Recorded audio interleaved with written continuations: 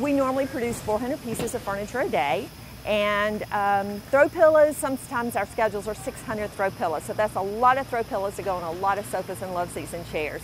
I thought it would be interesting to see, this is a leather sofa. These are all of the pieces that have been cut to make one sofa and they will all be sewn together and this will be, if you look at the leather, it's a very beautiful brown leather. Um, the one signature item for Flexsteel is that you can always tip the piece of furniture over and see the Flexsteel spring. Uh, this is where we got our start um, back 125 years ago with the Flexsteel spring, which is patented exclusively for our company. Um, it is actually produced in our plant in Dubuque, Iowa, which is the metal division plant.